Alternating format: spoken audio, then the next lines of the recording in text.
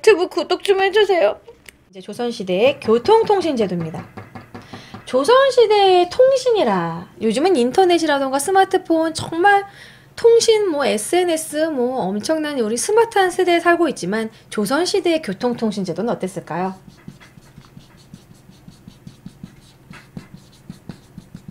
조선시대 교통은 가마, 가마와 말, 뭐 요런 거, 그거밖에 없죠. 뭐 수레, 뭐 수레도요. 수레도 조선 후기 때 나타났어요. 조선 후기 때는 수레가 없었어요. 교통통신제도. 조선 초기에 수레가 잘 그 못한 게 수레가 힘들어. 왜냐면 이게 막 비가 오고 그러면 흙길에서 막 다 빠져버리고 돌길 같은데 수레 잘 못 다니고 주로 이제 말, 말 제일 빠른 게 말이죠. 아니면 이제 가마. 가마 생각하면 얼마나 저 교, 교통제도라고 생각했을 때 가마는 얼마나 그 힘든 겁니까? 이 노비들이 그 아씨를 이제 가마로 달, 들고 댕기는데 아씨가 가볍지 않다고 않고 막 뚱뚱하면 그 네 명이서 뭔 죄야 막 들고 댕기고 밤낮으로 힘들죠.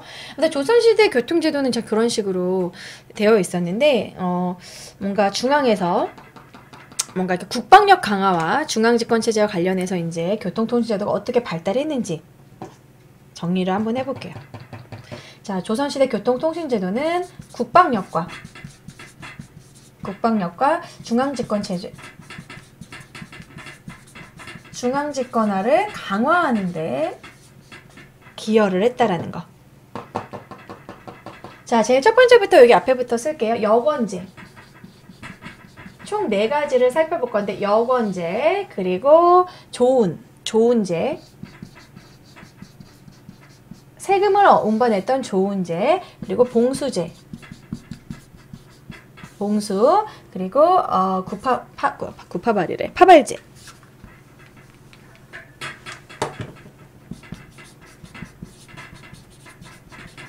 이렇게 네 가지로 보시면 됩니다. 자, 역원제. 역원제라는 경우에는 역과 원으로 나눠서 얘기하시면 생각하시면 돼요. 육로. 역원제는 육로.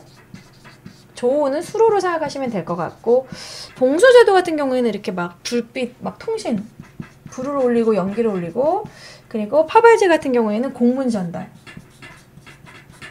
공문 전달 간단히 보시면 되는데 자 역과 원을 설명해 드리도록 하겠습니다. 자 역과 원은요 두 개로 나눠서 보시면 역과 원이 따로예요. 그러니까 말 빌려주는 곳이에요. 쉽게 말해서. 그러니까 옛날에는 이렇게 뭐 으, 마패를 들고 다니면서 이제 공무 여행 소지자 이제 공무 여행자가 암행어사 같은 그런 이제 이런 사또들의 이런 비리를 감찰하는 그런 암행어사들이 마패를 보여주면은 말을 빌려주는 거예요. 역가, 역에 가가지고 그 마패를 보여주면 말을 빌려주는 거지. 그래서 전국에 역참을 가지고 있어. 그래서 역은 전국에 이게 사실 고려시대 때 음, 몽고의 영향을 받기도 했었어. 역참제도라는 것 자체가 전국에 역참을 가지고 있어서 말을 대여해 주는 곳이죠. 역참을 가지고 있고 말을 대여해 주는 곳. 어, 말이 뭐 완전 뭐 얘가 뭐 에너지가 넘친다고 하더라도 말이 쉬어야죠. 이말 그거 뭐야 이렇게 뭐 안장도 바꿔줘야 되고 얘가 지치니까 말한테 이제 먹이도 주고 새로운 말로 바꾸기도 하고 이런 식으로 말을 대여해 주는 게 역이고요. 원은 숙박업소입니다. 공공여관 주막이죠. 공공여관이라고 할 수 있는데 이거는 교통의 요지에 설치했다는 거. 지금도 뭐 장호원 뭐 이런 식으로 옛날 원이 있었던 위치에 지명이 남아 있는 곳이 있어요. 구파발도 그렇고 구파발도 원래 그 역이 있었던 곳이고 전국의 역지도를 보여드리도록 하겠습니다. 이런 식으로 여기 있었는데 뭐 광주, 순천, 전주, 대구 지금으로 봤을 때 교통의 요지 있죠? 그런 곳에 다 역이 있었다라는 거 중간중간 말을 대여해주는 주요 역로가 있었다. 주요 역로는 말이 뛸 수 있는 그런 길 그런 쪽 위주로 역로가 있었고 자, 그 다음에 조은으로 넘어갈게요. 조은은 어, 국가의 그런 세금을 세금을 예전에 쌀로 냈죠. 얼마나 무거워요. 이 쌀 같은 경우에는 말로 운반할 수도 없고 수레도 이때 없었 수레도 제대로 없었고 뭘로 운반을 했냐면 배로 운반을 했습니다.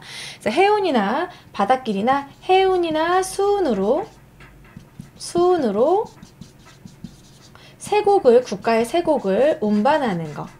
그것을 이제 좋은 제도라고 할 수 있는데 좋은 제도는 제가 그림으로 지도로 그려 보여드리는 게 더 편하실 것 같아요. 보시면 음, 각 지역마다 강창이 있어요. 이 강창에 있는 세금을 어, 수도인 경창으로 옮기는 것이 바로 좋은 제도입니다.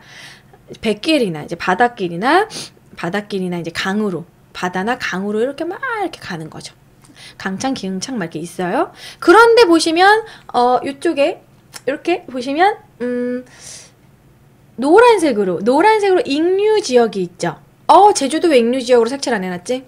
제주도도 익류 지역인데 자 보시면 이 평안도와 함경도는 익류 지역이에요. 왜 그러냐면 여기선 익류 지역이 중요합니다. 익류 지역 익류 지역은 세금을 걷지 않은 지역이에요. 평안도, 함경도, 제주도. 제주도 같은 경우에는 너무 멀어서 제주도 같은 경우에는 이 100길로 왔다 갔다 하는 것 자체가 힘들어. 그리고 여러분 제주도는 벼농사 짓기가 힘들어요. 제주도는 현무암으로 되어 있기 때문에 물이 다 스며들고 밭농사밖에 못 져요. 그리고 지금은 뭐 이제 기술이 돼가지고 되겠지만 옛날엔 못 졌고 제주도 같은 경우에는 그런 특산물 같은 경우에만 국가에다가 냈지 아, 세금을 내지 않았어. 그 안에서 그냥 충당을 했어요. 그래서 제주도는 어쩔 수 없이 익류지역. 그리고 평안도, 함경도 같은 경우에는 사신접 대비와 거기 명나라 사신들이 많이 왔다 갔다 하는 곳이었기 때문에 사신접 대비와 거기에 이제 사군육진 같은 거 있고 국방비, 국방비로 대체했다는 거. 사신접 대비와 국방비로 대체하고 세금을 걷지 않았다. 그리고 여기에는 좀 농사가 잘 지어지는 그런 것도 아니잖아. 좀 춥고 척박한 지역이기 때문에 어, 이게 좀 벼농사도 원활히 되지 않았고, 자, 저는 평안도와 함경도는 사신접 대비와 국방비로 대체하면서 인류 지역이다. 제주도는 지역적인 특색 때문에 자, 어쨌든 그 좋은 제는 이렇게 이해하시면 될 것 같아요. 뭐 어렵지 않죠? 자, 참 쉽죠잉? 자, 그 다음에 봉수제로 넘어갈게요. 봉수제는 그거예요. 그냥 통신. 비상사태 전달. 비상사태를 전달해주는 건데, 봉수라고 해가지고 이렇게 동글해서 거기다가 이제 불 피우거나 연기 피우는 건데, 낮에는 불 피워도 잘 안 보이니까 연기로, 밤에는 횃불로, 불로. 이런 식으로 이렇게 비상사태를 전달하는 건데 각 지역마다 봉수가 있어요. 그래서 이, 이 아무리 먼 지역이더라도 서울까지 봉수로 연결되는 것이 뭐 그런 게 있어. 뭐 두 번 올리면은 국가 위급 상황, 뭐 세 번이면 뭐고 뭐 그런 게 있는데 그게 오는데 총 12시간이면 온다고 했어요.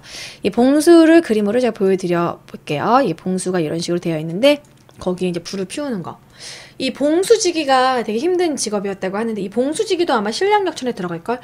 아무튼 봉수지기로서 이 봉수의 업무를 못하고 뭐 졸다가 뭐 무슨 이유로 봉수를 올리지 못하면 사형에 처하기도 할 정도로 봉수를 이렇게 올리는 게 되게 중요한 업무였다고 합니다. 그래서 봉수. 자, 아무튼 봉수제도는 나름 통신이죠. 음, 그리고 파발제. 파발제는요, 어, 파발제는 음, 봉수가 제대로 좀 유명무실해지고 제대로 기능을 못하는 거야. 막 비가 오거나 그러면 어떡해. 그렇잖아. 그래서 파발제는 임진왜란 이후에 임진왜란 때 생겨기기 때문에 임진왜란 전후라고 보시면 돼요. 임진왜란 전후부터 파발제를 하기 시작했는데 이런 역의 기능이라던가 역의 역과 봉수의 기능이 너무 상실돼 버려가지고 새로 만든 거예요. 임진왜란 때 사실 역이라는 게 전국의 역참이 막 전쟁 중이라 다 도망가 버리고 막 그리고 봉수도 막 비 오거나 이 봉수지기들도 전쟁 때다 도망가 버리고 제대로 어, 기능을 못 해가지고 보완책으로 구축한 것입니다. 그러니까 뭐 역을 조금 더 보완했다고 생각하시면 되는데요. 파발은 되게 빠른 말을 가지고 공문을 전달하는 그런 기관이에요. 빠른 말, 공문 전달을 위한 통신말. 말 가지고 구파발 알죠? 구파발. 구파발이 파발이 있던 곳인데, 그러니까 되게 빠른 말을 가지고 국가에서 뭔가 필요한 이런 문서라던가 아니면 편지 같은 경우를 전달하는. 어, 지금의 택배, 빠른 택배, 퀵 서비스 뭐 이렇게 생각해 주시면 편할 것 같네요. 그래서 어쨌든 조선시대 교통통신제도는 여권제, 조은제, 봉소제, 파발제가 있는데 너무나 쉬운 부분이고 네, 여러분 간단히 그냥 이해하시면 되는 부분이에요. 그래서 이거는 그림 보여드릴 건 더 이상 없을 것 같고 이렇게 암기하시고 이해하시면 될 것 같네요. 인류 지역 중요하고 파발제 뭐 이런 거 하시면 될 것 같네요. 자, 아무튼 오늘은 여기까지 어, 진도를 나가도록 하고요. 다음 시간에는 교육과 과거제도로 할 건데 과거제도 부분이 자세히 하려고 치면은 되게 많아요. 그래서 다음 시간에는 교육과 과거제도 문과 목과 막 생원과 진사과 막 많거든요. 초시복시 뭐 이런 거 해가지고 과거제도까지 하면서 음, 조선 초기의 대외 관계, 명가의 관계, 여진과의 관계, 일본과의 관계까지 4대 교린 정책, 거기까지 네, 다음 시간 진도를 나가고 이제 그 다음부터는 사림의 대도와 붕당 정치 사화 뭐 이렇게 진도 쭉 나가면 될 것 같습니다. 그래서 다음 시간에는 교육 제도와 대외 관계를 하도록 하고요. 오늘 날씨도 따뜻한데 어, 공부하시느라 너무 고생하셨어요. 요즘 봄 날씨라 너무 공부가 하기 싫죠? 저도 막 수업 준비하면서 놀러 가고 싶고 막 그랬는데 그래도 우리 봄일수록 그래도 더 열심히 파이팅해서 공부했으면 좋겠습니다. 자, 여기서 진, 저기 녹화를 끊을게요. 다음 시간에 만나요.